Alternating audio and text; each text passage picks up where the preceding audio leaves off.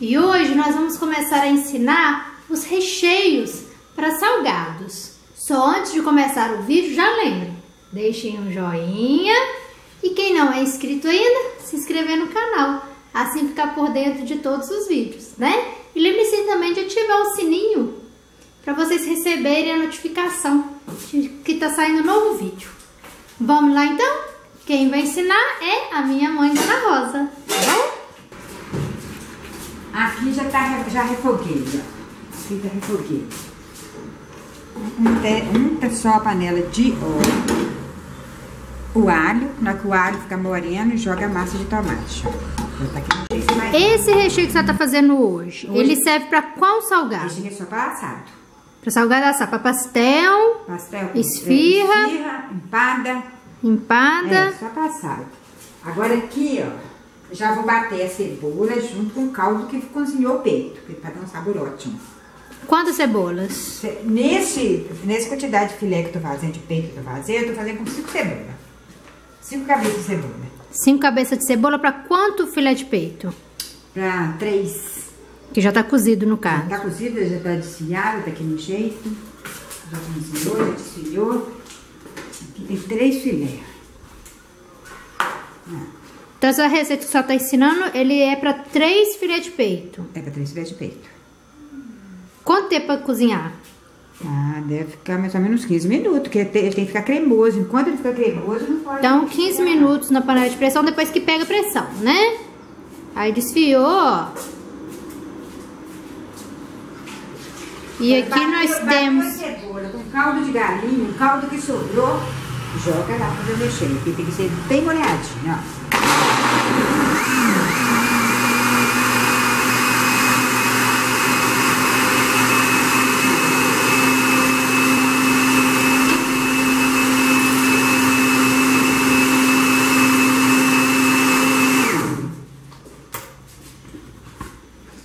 Aqui, ó, pode olhar aqui o tanto que deu. Então aqui só refogou, gente, temperar a gosto, né? Tempor, temperou, né? Refogou alho e, e, um pouquinho de óleo, né? Com alho e sal. Molho de tomate. Porque a, o caldo de peito já tem gordura e foi só muito. O próprio caldo que cozinhou o peito, né? Aqui vai dar um pouco, o peito já tá cozinhado. Fluindo.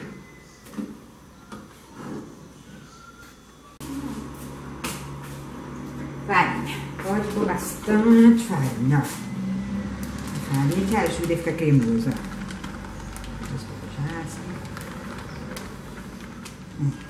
Umas duas xícaras de farinha que você jogou aí, não foi? Mais ou menos.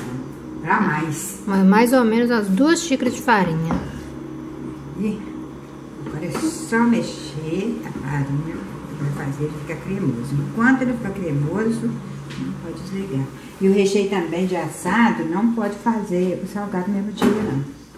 O salgado abre tudo. Tem que fazer o recheio hoje para fazer o salgado amanhã.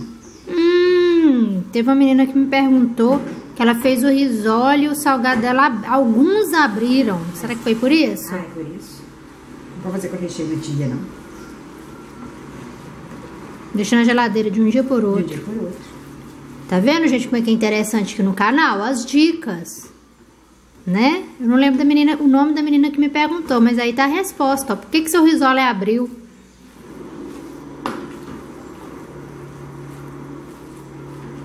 Agora, a coxinha pode fazer o recheio e fazer a coxinha mesmo dia, porque o recheio da coxinha é, é, já é mais firme, né? Não tem problema não.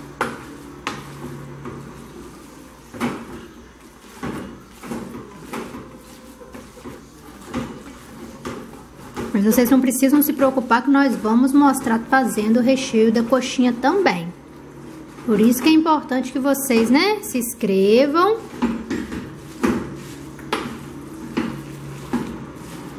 Aqui, vou colocar mais um pouco de água que tá grosso, não vou ficar grosso.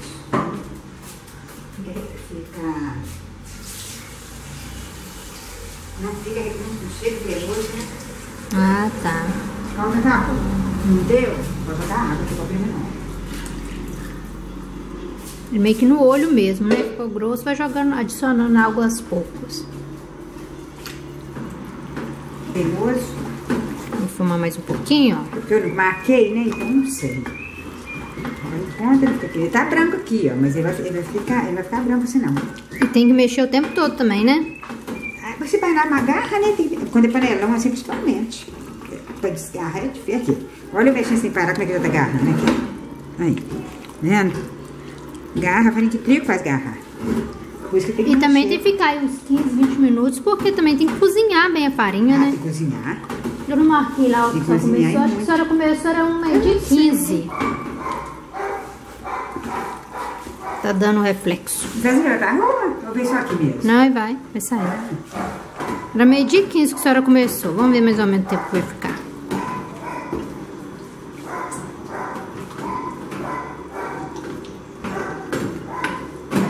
Eu não vi vocês na rua, vocês me viram. E aí vai acrescentando água também aos poucos, né? Conforme for precisar. Agora, a senhora acha que vai precisar de mais água, não, né? Ponto certo. Tá bom mesmo. Ó, ficou 20 minutos no fogo. 20 minutos no fogo. Olha como é que tá bonito. Fica cremoso Todo cremoso, mesmo. ó. Agora é só amanhã que come- tu pode usar ele. Se usar ele hoje, o salgado abre tudo. Como que fica um recheio bonito. Eu Vou até chegar bem perto, ó. Como é que você fala? Pode ligar, tem problema não. Pode ligar. Eu posso continuar mexendo só pra eles verem.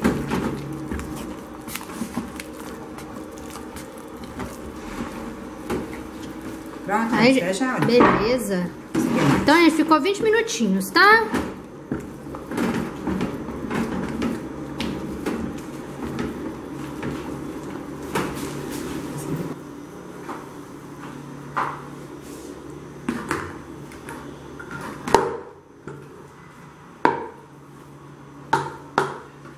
Essa quantidade de recheio que a senhora fez, pra salgado de festa, vai dar pra embalar quanto salgado mais ou menos? Só sabe? Vai lá. Mais ou menos 300 salgadinhos pequenos. de festa. Uhum. Isso vai dar até mais. Depende do, do jeito que a gente vai colocar o recheio. Eles colocam mais um pouquinho, eles colocam mais um pouquinho mais. É porque tem gente que recheia o salgado menos, né? Aqui É. o salgado é muito bem recheado. Então dá pra usar uns 300 até 320.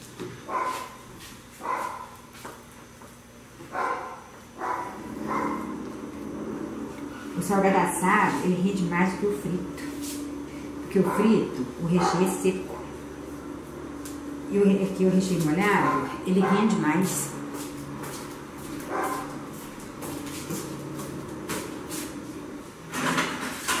Aí que depois que esfria vai pra geladeira.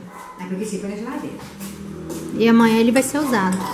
Ai, gente, então foi isso aí. Espero que vocês tenham gostado. Espero que a explicação tenha ficado claro. Mas já sabe que qualquer dúvida é só deixar aí, tá? Escrever a sua pergunta que eu vou responder.